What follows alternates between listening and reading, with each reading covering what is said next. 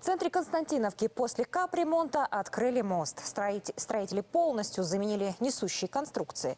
Потратили на путепровод более 25 миллионов гривен. В день сдачи объекта наша съемочная группа обнаружила некоторые дефекты. Какие, расскажет Алексей Куделя. На открытие Константиновского путепровода собрались сотни горожан. Реконструкция длилась больше года. Местные таксисты оценили новый мост еще до официального открытия и выдали свое резюме. На 100%. Путепровод – единственная дорога, которая связывает две части города. Пока длился ремонт, людям приходилось ездить в объезд. Если я на ту сторону ехала автобусом 15 минут, то без моста я ехала 45-50. И такси, соответственно, увеличилось в три раза. Мы довольны, что мост хоть в декабре он открывает. Мы думали, лет через 5, через 10 откроют, не раньше. Очень важно, очень важно. Мы живем на этой стороне, чтобы туда переехать, но это, это очень тяжело было. Полгода эти, чи даже больше. Проедемся, посмотрим, как оно, как его надолго хватит. Надеемся, что нормально.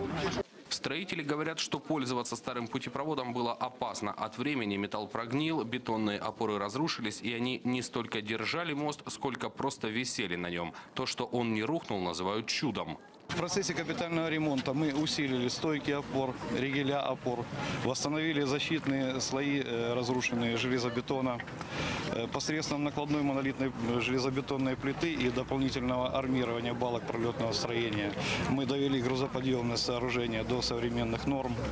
Э, Повышенное ограждение и перильное обеспечило э, безопасность движения автотранспорта и пешеходов.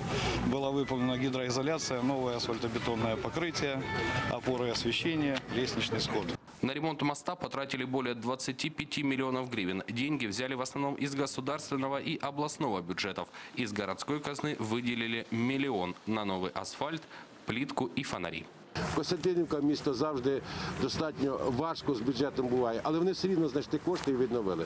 Я думаю, що е, на черзі і південний шляхопровід, тому що цей відкрили, той потрібно відкривати.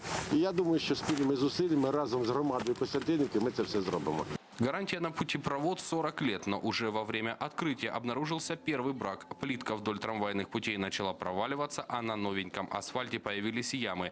Ливневая канализация выведена прямо на пешеходные лестницы под мостом, поэтому прохожие в любой момент могут попасть под холодный душ.